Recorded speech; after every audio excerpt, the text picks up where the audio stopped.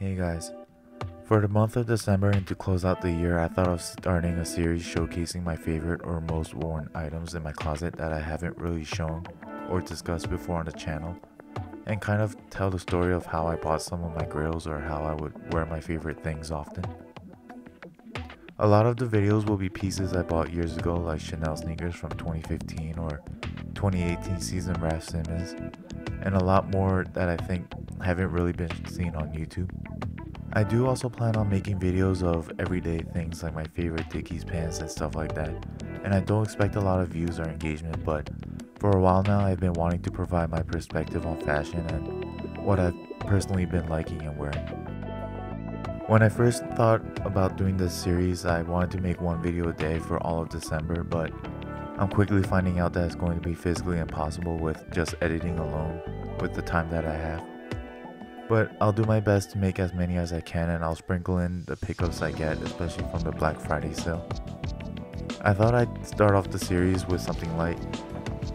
Since I posted this picture on Instagram a couple of years ago, every once in a while I get requests to review this coat on YouTube, and I thought it'd be a fitting start to the series. Here we have the Undercover River Samurai trench coat from their Fall Winter 2020 collection. Honestly, the whole collection from the season was amazing and if you have the time, I'd highly suggest you check it out if you're not familiar. I'll leave a direct link down in the description to the Hypebeast article covering the collection, but yeah, I'd say this coat is one of the more toned down and tame pieces of the collection. I was super lucky when I found this coat on Farfetch. I got this coat around the time when the Evangelion Undercover collection dropped. I was looking on Farfetch to see if I could grab certain leftover pieces of the Evangelion collection when I came across this on clearance. The coat came up on like the last search page of Undercover in the last size which was the 4 I needed. I ended up buying it and to my surprise the coat shipped directly from Undercover in Japan and not a department store or retailer.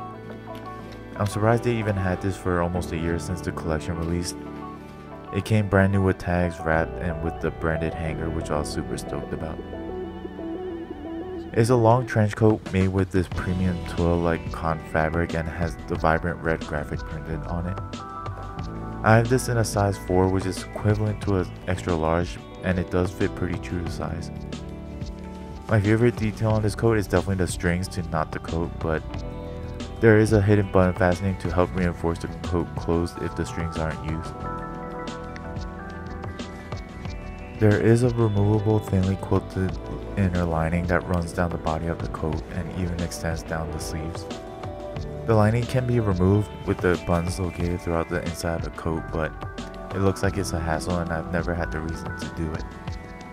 It has kept me relatively warm the couple of times I wore it. The only downside is that it's also not waterproof or water resistant at all. I think the perfect time to wear this coat is on that cold, cloudy day just after the rain.